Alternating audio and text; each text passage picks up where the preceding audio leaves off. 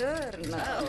Non pensavo ti alzassi presto, visto che sei tornato tardi da Los Angeles. Oh. Mm. Beh, volevo raccontarti com'era andata prima che uscissi. Oh, Allora racconta. Grazie. vaci piano, l'ho fatto bello forte. Ok. Mm. sì, questo caffè risveglierebbe un morto. Ti renderebbe il lavoro più facile. La vittima ti dice sì, mi ha ucciso lui. Caso chiuso. Castle, immagino che tu abbia scoperto qualcosa sulla tua scomparsa e che sia su questo che tu mi voglia aggiornare. Ah, eh, sì, in effetti è così.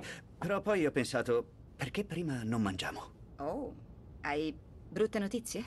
Toc toc, sei presentabile? Mamma!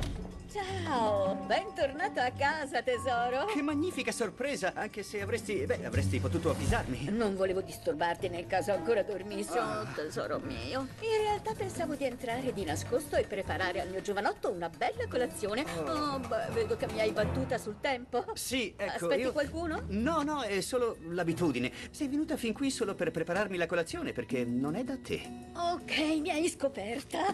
In effetti ieri pomeriggio mi è arrivata la copia in anteprima del mio libro e volevo fartela vedere. Consigli non richiesti di Martha Rogers. Mamma, sono così orgoglioso di te. Oh, ti ringrazio. Dai, leggi la dedica. Per Richard. Senza i tuoi continui passi falsi nella vita, dare consigli non sarebbe stato possibile. Continui passi falsi? Non prenderla sul personale. Un secondo.